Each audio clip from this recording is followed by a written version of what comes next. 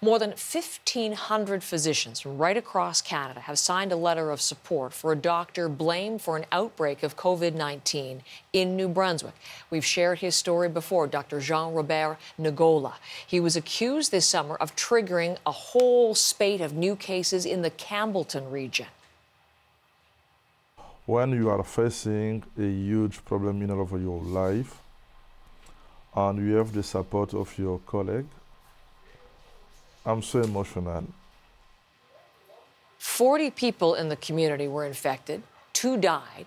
The premier singled out Dr. Ngola as the source of the outbreak, and he then faced weeks of threats and racist abuse. He left his practice in Campbellton. A CBC News investigation later cast doubt on whether he was, in fact, patient zero. That prompted calls for public inquiry and, as I just referenced, this show of support from his colleagues right across the country. It is Judy Trinh who's been doing the reporting on all of this, taking the lead on the Dr. Ngola story. She's back again from Ottawa. Let's uh, pick up where you left off the response to the story and what your investigation led to, the question about whether he is patient zero the support that he has received. Good morning, Heather. Yes, uh, Dr. Ngola, as you heard, is emotionally uh, overwhelmed and very, very uh, thankful and grateful that, uh, that he received this letter. That's because for weeks he has been enduring uh, racist attacks. However, this letter was prompted by an investigation by CBC's Fifth Estate when we cast doubt on the contact tracing. We followed uh, Dr. Ngola and we wanted to know exactly if he truly was patient zero. We spoke to epidemiologists, and what we found found was that the case for that is not very strong.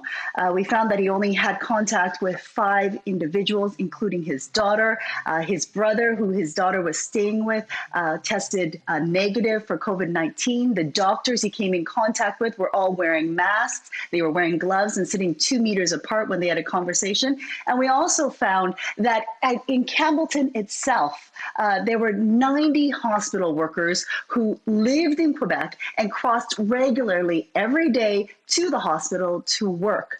Along with that, a child at the same daycare as uh, Dr. Ngola was the actual patient zero. That case, that child, that little boy uh, had a parent who worked in the hospital and another parent who lived in Quebec. So the fact that he was singled out um, is, is questionable. And after hearing about our investigation and reading about it, Dr. Danusha Foster felt compelled uh, to rally her fellow doctors and write this letter take a lesson. I was not going to weigh in whether he was patient zero or he wasn't patient zero. What I simply wanted to do is just to say this backlash against your character is unacceptable, it's unkind, it's unjust, it's not human. And and or it's dehumanizing and I I just had to speak up about that matter. So, 1,500 doctors joining Dr. Foster in doing so. You've also heard, I know, Judy, from officials in Campbellton. What are they saying? Mm-hmm. Well, looking back, there is a uh, lot of regret.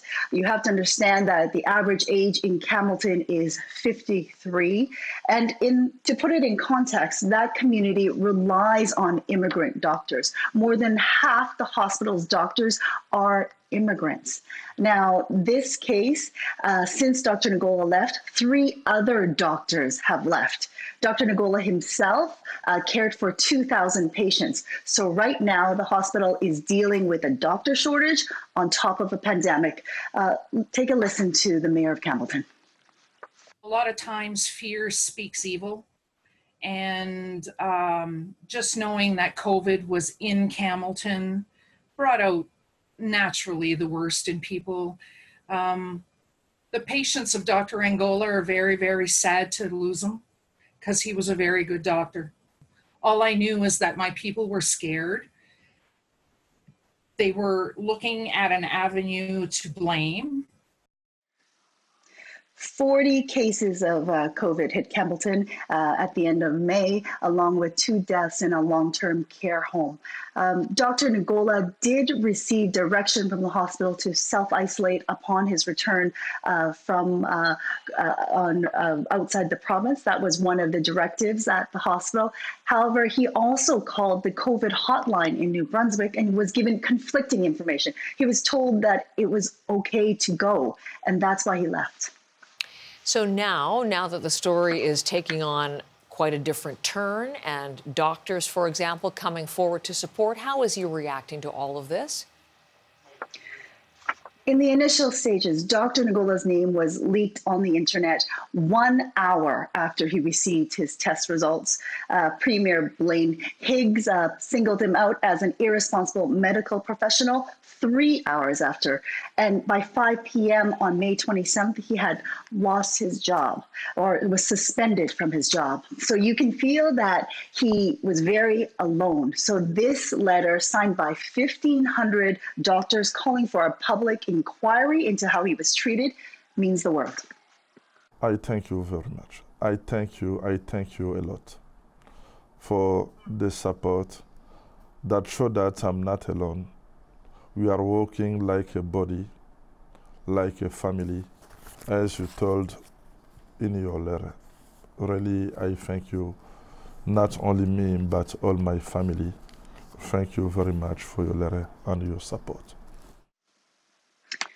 Dr. Ngola is now practicing medicine in Louiseville, Quebec, uh, but he is still dealing with issues in Campbellton. He has to return to potentially face a provincial fine. Uh, there were no criminal charges against him after an RCMP investigation, but he still faces a potential fine of $10,000 for not isolating upon his return. Heather. Judy, thank you very much for that update. Judy Welcome. Trinh is in Ottawa.